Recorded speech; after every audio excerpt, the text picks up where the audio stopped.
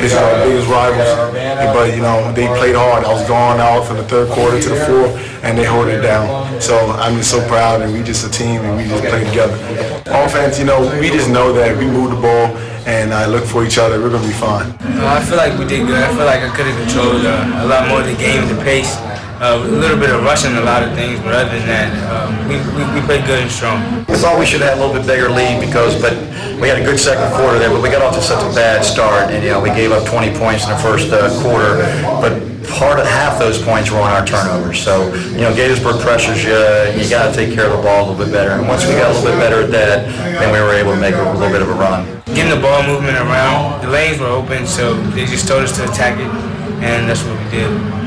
Game plan night to play hard, play together, and just work our butt off on defense, and this will lead to offense. It's a big win. It's a big win. They beat us last year in the playoffs, so this this win right here made us stay.